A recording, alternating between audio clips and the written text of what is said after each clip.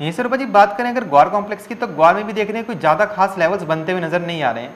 तो आपको क्या लगता है? जिस हिसाब से ग्वार गम अभी 9000 की 9300 के ऊपर कायम है तो क्या यहाँ से ग्वार गम एक बार फिर से 10000 के ऊपर भी निकल पाएगा? देखिए, जो ग्वार गम और ग्वार सीड में जो तेज़ी आई है, वो सस्टेनेबल नहीं लग रही है और काफ़ी अपनी तरह से बाज़ार फिसले हैं और अभी भी बाजारों में गिरावट देखने को मिल रही है।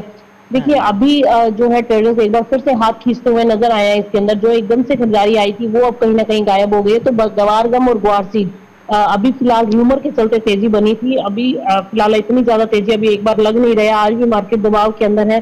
तो मुझे लगता है थोड़ा बहुत करेक्शन अभी और बढ़ सकता है। अक्टूबर वायदा की हम यहाँ पर बात करेंगे तो 9000 तक नीचे लुढ़क सकता है।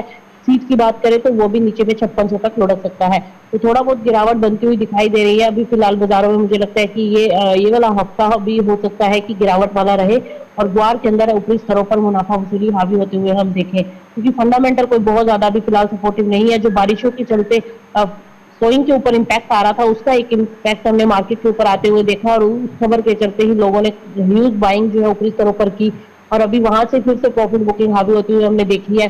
तो मुझे लगता है कि अभी थोड़ा सा शॉर्ट टर्म में गिरावट बढ़ सकती है, निचले स्तरों पर एक बार फिर से खरीदारी हो सकता है कि हावी होती हुई दिखाई दे। जी।